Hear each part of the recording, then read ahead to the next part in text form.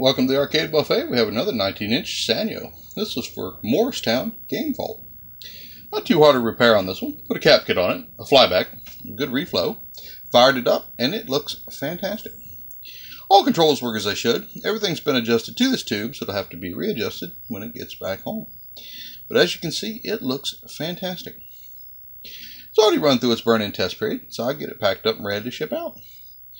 If you have any questions or comments, please leave them at the bottom of this video or shoot me an email at thearcadebuffet at gmail.com or visit my site, thearcadebuffet.com.